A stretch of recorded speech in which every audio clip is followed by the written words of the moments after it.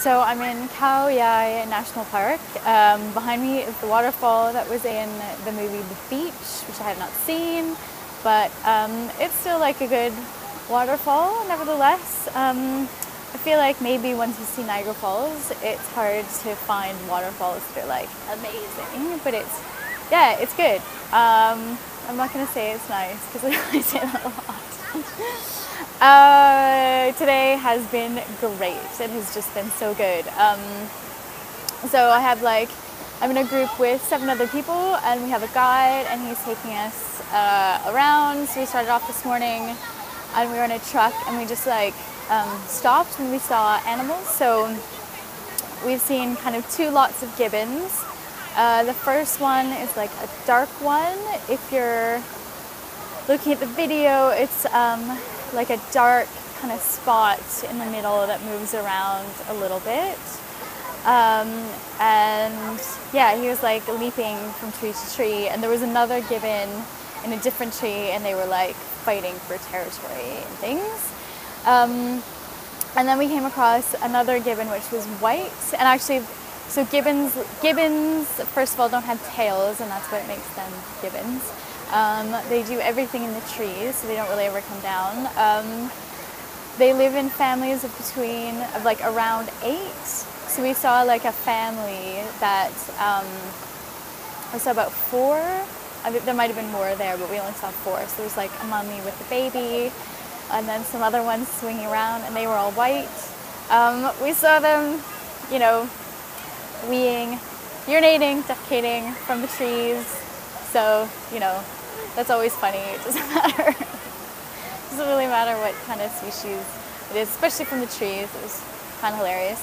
Um, and then we went on this hike for a couple of hours through the um, kind of jungly wood thing.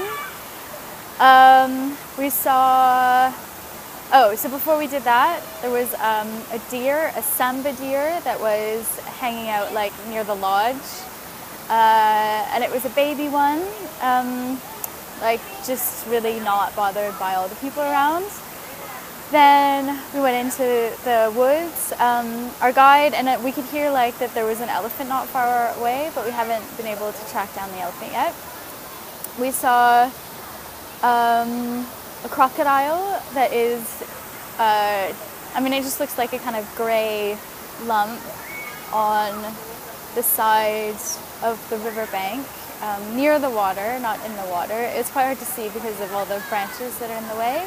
There's, there are only two crocodiles that live here, so um, yeah, we were kind of lucky to have seen that. And then the guide, like, one point pulled out a scorpion from its nest. That was pretty um, creepy and yucky and terrifying. Um, it I touched it, it felt just like a hard shell. He put it on some people's arms. I was not one of those people. Uh, and oh, um, when we were driving around this morning, we saw a hornbill bird, which looks a lot like a toucan, but is smaller, and there are no toucans here. So it has like a yellow head, so you can kind of make it out through um, uh, in the photos. So this is the last thing on the trip another waterfall, slightly more impressive waterfall. Um, it's just been like a really fun day. I'm really hot and sticky and sweaty. Um, yeah, it's just been great. No elephants so far. That's the only thing. Tomorrow I head to hopefully to Laos. I'm heading certainly north. Um, if I can make it all the way to Vientiane, that would be ideal. If not, then I'll have to spend the night on the Thai side of the border.